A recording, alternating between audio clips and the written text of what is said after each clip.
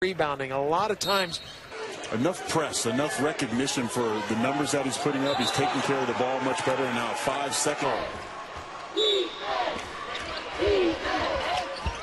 Zaga with the inbound.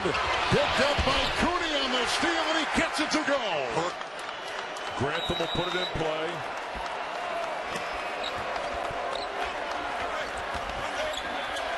And stolen by Cooney.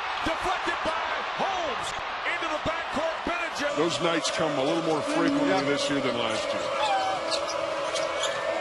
The home run pass. And Paige. Bob Huggins tries to secure a win number 22. Baylor TCU coming your way next.